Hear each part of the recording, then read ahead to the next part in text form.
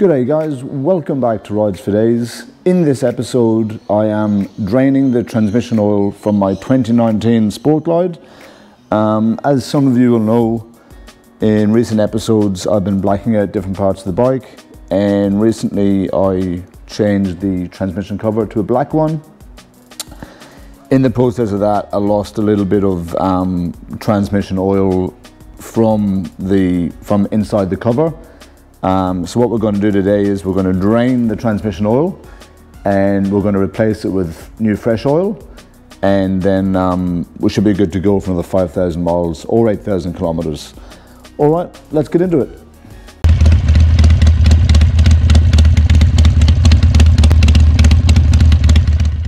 Rightio guys, the tools for the job at hand are as follows. A couple of wrenches, a uh, couple of an assortment of Allens, socket to uh, dump the oil out, O-rings, got the manual of course, and the oil we're going with today is this uh, uh, V-twin transmission oil from Redline. Uh, looks pretty good. Seen a few, uh, seen a few reviews on YouTube, and um, I thought I'd roll with this.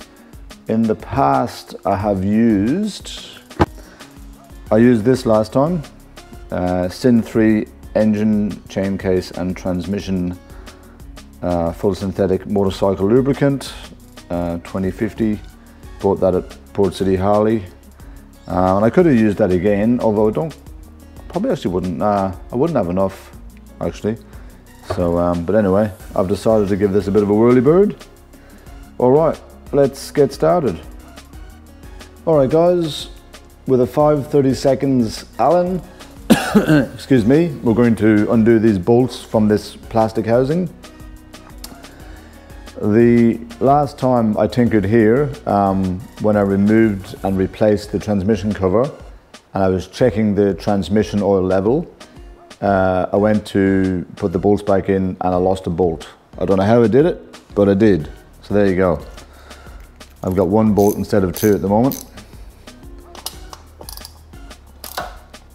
That's all right. This one's holding it in for now. So you just unscrew that and then pull it off just to show you that there, that sits just in there. So now we just remove this plastic cover. Now we're just going to undo the transmission oil dipstick and um, just to loosen it a bit, just to allow some air in so that the transmission oil um, drains a bit faster.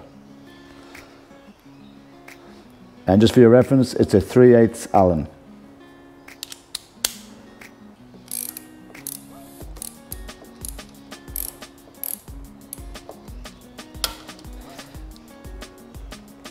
All right, we don't need to remove it completely. We can just leave it sitting loose like that. And um, that will allow some air in and let the uh, oil drain a bit quicker. All right, let's undo the drain plug. And just for your reference, we're using a 5 8 socket. Now in order to locate the drain plug uh, for the transmission oil, if you just look down from where the transmission case is, and then just show you underneath here.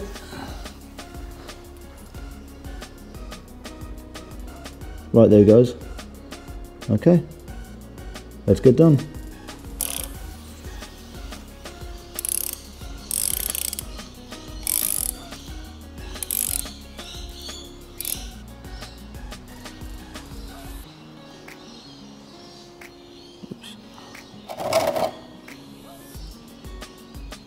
And because we're doing this right off the kickstand guys, um, it doesn't hurt to just stand the bike up straight, um, just, to just to drain off any remaining oil that's in there.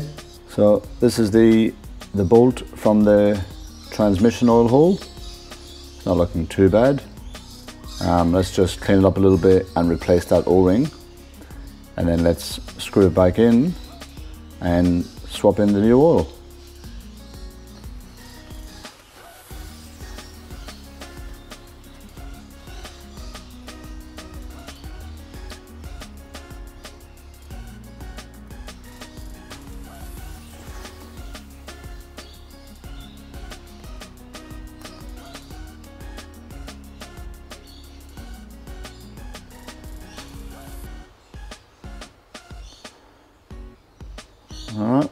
Looking good.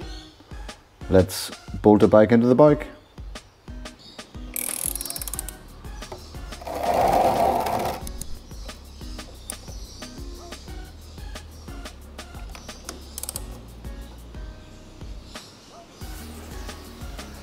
Alright guys, so I've got the Harley Davidson Softail owner's manual and it's calling for 28 fluid ounces.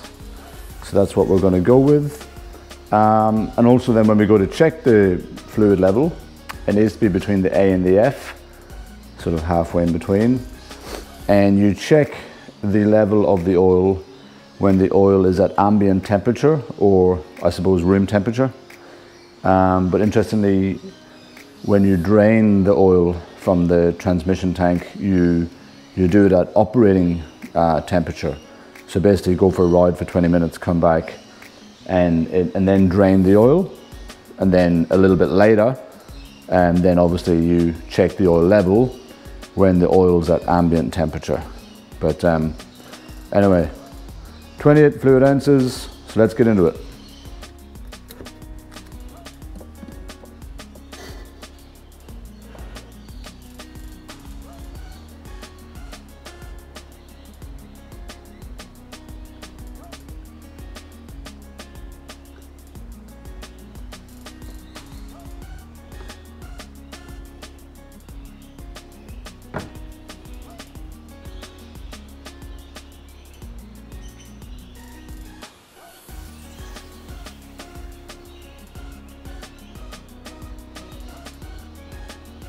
All right, so we've got 28 fluid ounces in there. Now we're going to check the oil level. And to check the oil level, we just um, we screw the uh, dipstick in until the O-ring makes contact with the thread. Don't tighten it, then back it off and check the level. So it definitely needs a bit more. It's not really registering on it at all.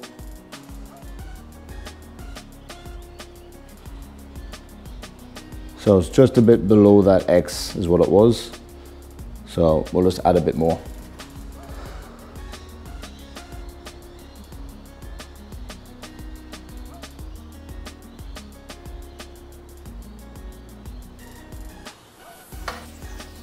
Still a bit low, I reckon.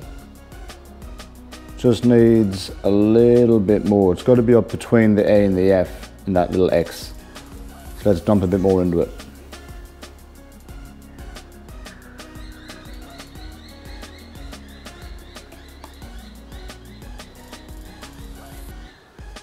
Uh, that's a lot better. It's actually halfway exactly between the A and the F. So that is perfect. There is a torque setting for this, but um, it's so fiddly and awkward to get the cap in that I'm just gonna tighten it up with a wrench. I don't think it really matters. All right, let's put the plastic housing back on and get my one bolt back in there until I buy a new one. All right, let's get on with it.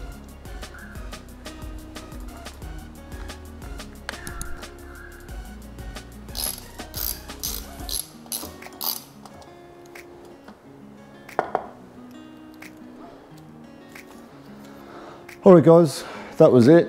Um, it's dead easy just changing the oil. Um, I like to do regular maintenance and routine maintenance on my Sport Glide. And I think it's interesting that if I can show you that anybody can do it, uh, there's no need to be intimidated by it. Um, and with this, it was just quite simple. It's straight off the kickstand. Um, you know, you don't need any fancy jacks or, or any wheel chocks or anything if you haven't got it. Um, it ended up taking a full quart of oil for the transmission tank, which, you know, it's interesting. Uh, when you're working on your Harley at home yourself, you, you sort of rely on um, exact quantities of oil from the manual and you think, you know, they've told me 28 fluid ounces, so that's what I'm going to put in. and um, it's sort of reassuring for you. But the problem with oil levels is that it's not always going to be what it says in the manual. And that's what the dipsticks are for. So when you check the oil level, if it says it's okay on the dipstick, it's at the right level on the dipstick, well then that's the right level for your bike. So if the manual says 28 fluid ounces and, um, is this recording? Yep. If the manual says 28 fluid ounces and your bike takes 32 fluid ounces, which is a quart, well then that's the right level for your bike. Um, fill it up, 28 fluid ounces, check the oil level with your dipstick like I did. It wasn't enough, so I put more in until I got it to the right level. That's the right level. So, um, you know, the, I think it's just really a guide in general, but it's never going to be exactly that amount. But anyway, it's interesting. But uh, that's all for this week, guys. Um, I hope you enjoyed it. Don't forget, subscribe to the channel um, if you found this useful. I'm trying to uh, get to a thousand subs. I'm not there yet, but I'm trying to get there. Um, give it a big dirty thumbs up as well. That'd be really awesome. And um, I'll see you guys in the next one. Cheers.